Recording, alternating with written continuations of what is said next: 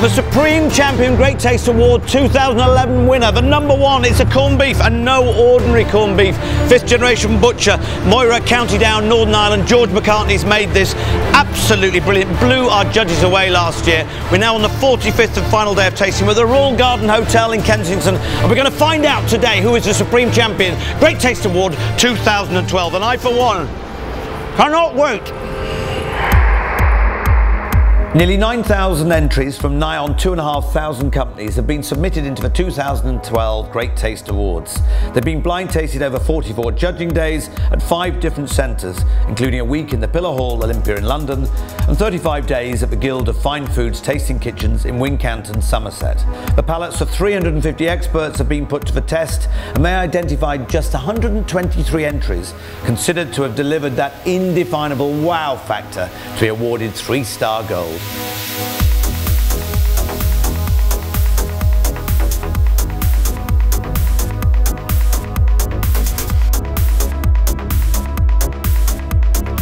Now this is a culinary hotbed. There are something like 60 judges here.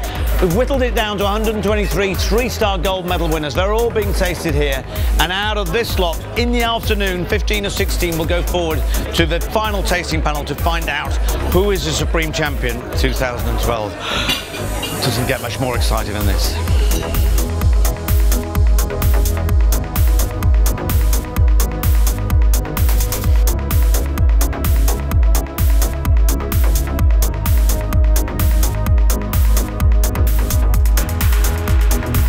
It's just great seeing these new ingredients come through and people still working on quality, you know, not looking to mass produce things.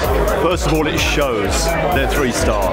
It shows. And I've just tasted a magic pork jowl. Now that's an underused cut. It is absolutely fantastic competition, and we're really thrilled to still be involved in sponsoring it. It's the only one of its kind. It's the only real serious uh, food competition for small-scale producers and quality foods. This person who's made this loaf of bread that I've fallen in love with, I'd love to meet them. I think, you know, they communicate themselves through the products they have.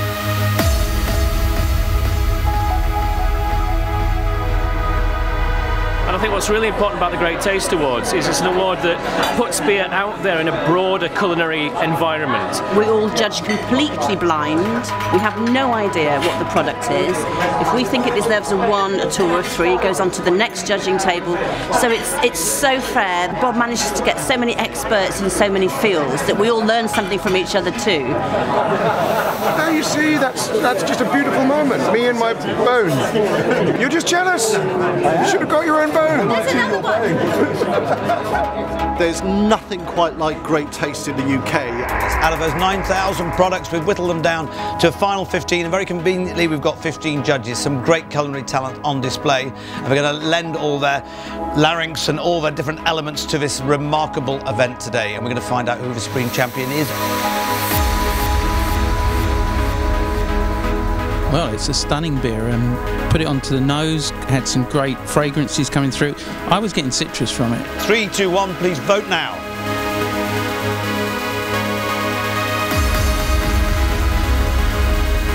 It's fantastic, really moist, delicate flavours, um, distinct caraway notes coming through.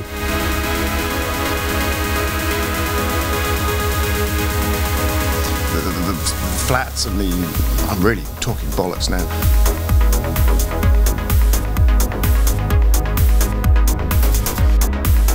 I always yearn for more jelly and a bit more squelch. I was sad to swallow it. The- the- the- the- the- the-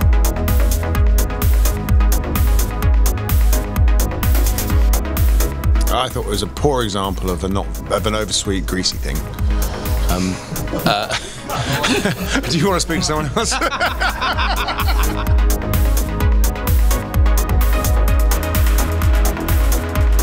It tastes just amazing sort of fragrances. It was um, stunning, absolutely stunning. Uh, uh, my jowls are so happy right now.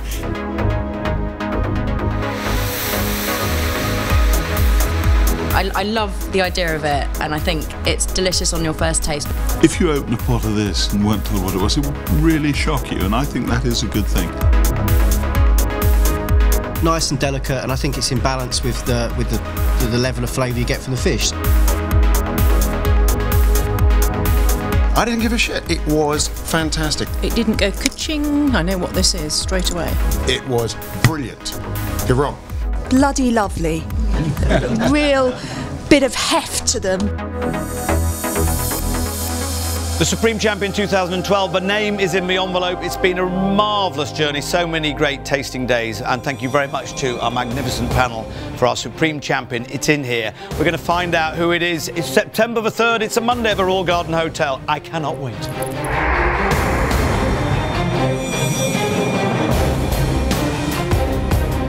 I'm en route to the Great Taste Awards dinner, but I've stopped off at the Cadogan Hotel, which is the home of the Great Taste Awards pop-up restaurant, featuring the Supreme Champion 2011, corned beef, marvellous that it is, and I'm delighted that I'm meeting the person who's created it.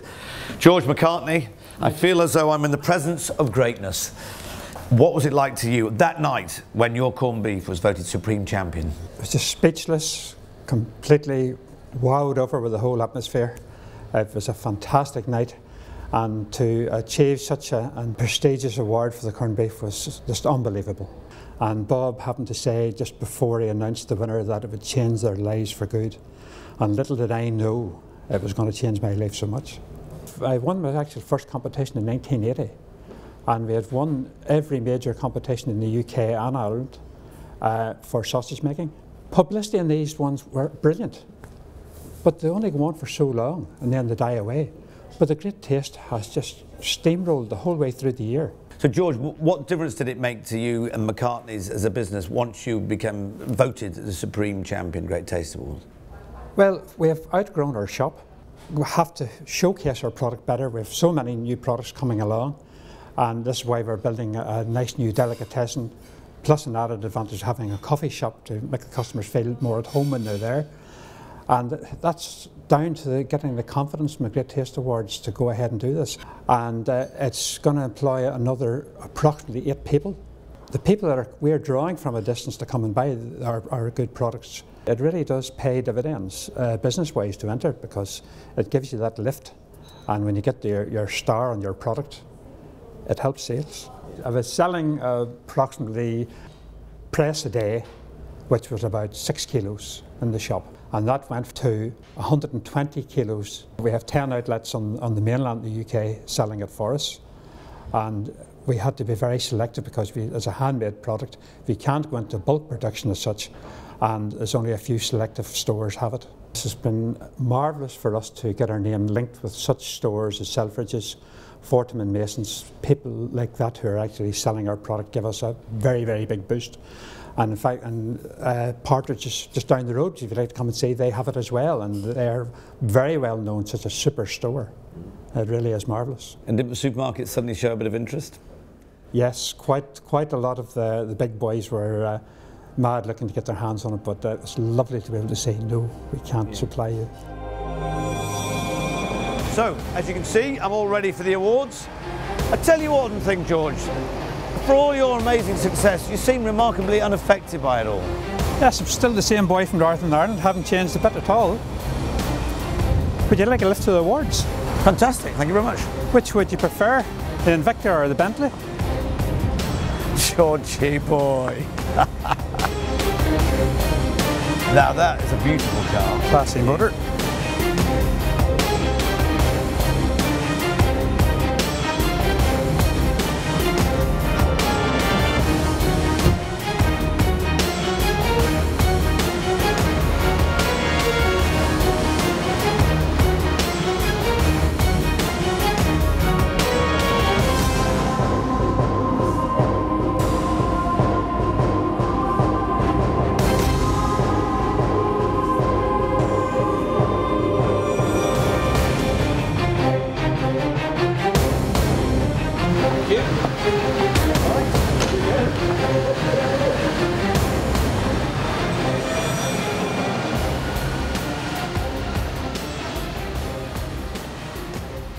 8,807 entries became 123 three star gold award winners, which in turn became the 15 stunning, stunning specialty food and drink products tasted by our Supreme panel. 11 of them picked up a Golden Fork Award here this evening. We had a lamb carpaccio from Wales, a hot smoked salmon from Scotland, some gizzard confit from here in the southeast, a sourdough meat from the north of England, a jamón ibérico de bellota from Spain, a Northern Irish guanciale, a pale ale from the Midlands, a passion fruit curd from the West Country, a smoked rack of bacon from Ireland, and a very special cup of tea. But only one of them will be the Great Taste 2012 Supreme Champion. Bloody gorgeous. Beautiful nose. The fat just melts in your mouth. Just such a delicious thing. Yeah, I'd died and gone to heaven eating that. Um, if I don't eat anything else ever again, I'd be quite happy to just keep eating that. Stunning, absolutely stunning. Good. No, excellent. It's a fantastic product. I was sad to swallow it. The, the, the, the, the,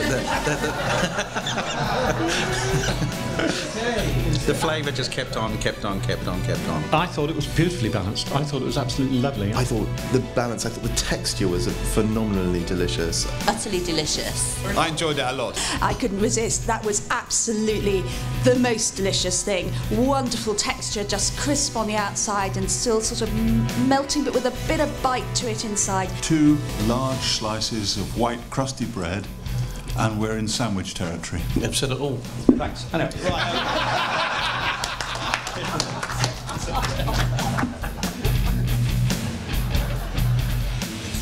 Ladies and gentlemen, the food we're about to crown Great Taste Supreme Champion 2012 will change the life of the person who makes it forever. Simon, over to you. Name that food. Thank you very much, Bob. I, I rather feel I've destroyed the dramatic tension because I was so excited. I've actually opened the envelope already. Well, open it. Read it. I, I've read it, and it gives me extreme pleasure uh, to announce that the Fortnum Mason Supreme Champion Award this year goes to Hannan Meats for their Moy Allen guanciale. Hey! Peter Hannan, over you come. Gilly Dugan, Shirley No. Russell, Simon Dugan. They're all here. Well done. Congratulations, Peter. Here you come, fella. The Supreme Champion, staying in Northern Ireland. The Northern Irish have done it again. The Irish are coming, lots of them.